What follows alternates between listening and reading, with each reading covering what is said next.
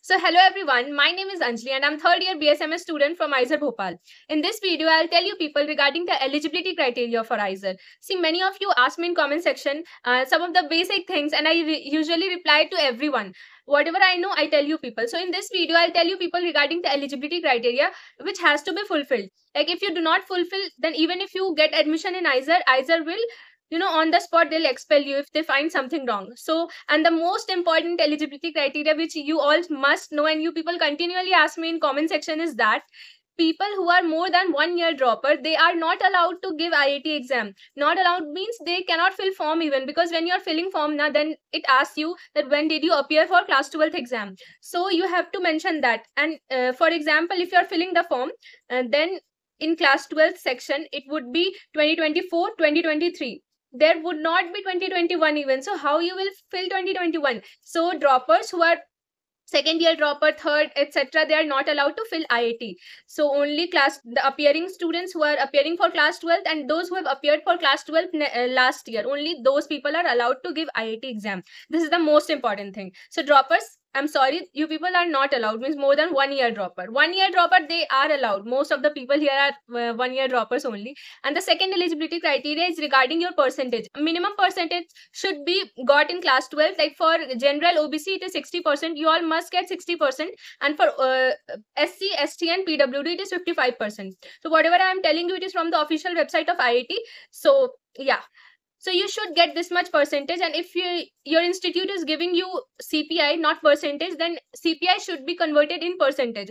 Uh, if you do not lie in that criteria in percentage criteria if your marks is less than that then you'll not be able to get into IISER and then uh, people who are not indian citizens uh, they are not eligible eligible to apply for IAT people who are from other nations they can get into IISER through JEE Advance only. So till now there is no foreigner in our college. So yeah, Indians are allowed for IAT exam.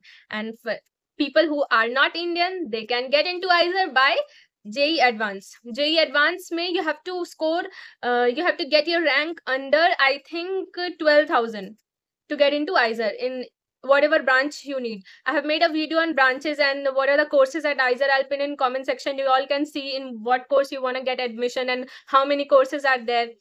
And yeah, for people who have class 11th and 12th combined, like their result comes combined, then for them only class 12 marks will be considered. So they have to give percentage of class 12th only and for people who have three years of diploma something like that it was written in eligibility criteria. So i read it which i'm telling you for them only the last year marks will be considered. And yeah people whose uh, the result has not come yet of class 12 uh, those are eligible to appear for IAT examination.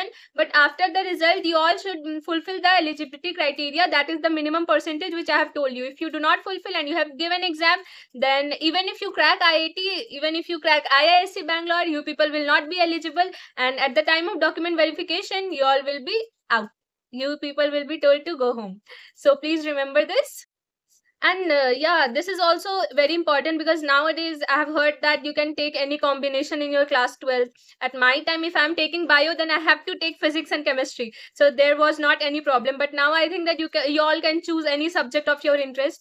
So the eligible in the eligibility criteria for IAT it is mandatory that you all should have science stream PCB or PCM or PCMB in your class 11th and 12th. Then only you are eligible eligible for this IAT exam. If you people don't have now this PCB or PCM or PCMB, then you people will not be able to enter. For example, if you people have only physics and chemistry and something else, for example, geography, then you people are not eligible eligible in this exam. What what's happening? Eligible.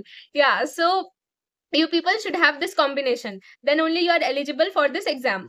Don't uh, be confused like you all can have a minimum of three subjects that pcb or pcm or pcmb the minimum three is needed. Even if you are appearing even if you want economic sciences at IISER Bhopal don't think that economics comes under arts and you people should not be from science background. No here you can you have to take admission. If you want to take admission under economic sciences then you should you should be from science stream. That is pcm maths is compulsory if you want to have admission in economic sciences. You you can be from pcmb background or pcm background. Pcb students are not eligible for economic sciences and engineering sciences. And for people who are from obc ncl uh, not OBC, they should be obc ncl for them only they can avail the obc this reservation.